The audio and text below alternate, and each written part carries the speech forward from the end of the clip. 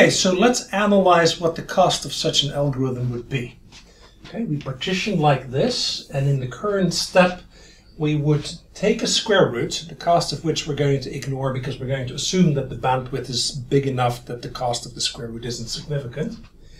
And then you would do uh, a divide by that square root, and again we're going to ignore that and we're going to assume that the cost is actually in doing the symmetric rank 1 update of the rest of the matrix. Now what we notice is that only these values right here let's see, where are they? Right here.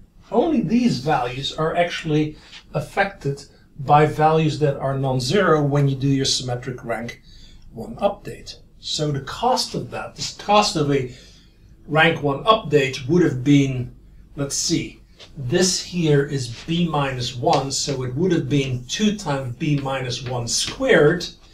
If we take advantage of symmetry, that's approximately divided by 2.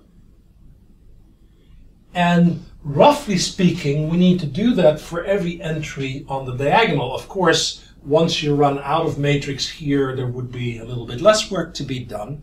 But if the matrix is large enough, that's roughly what would happen. So we would have to do this, let's see, roughly n times.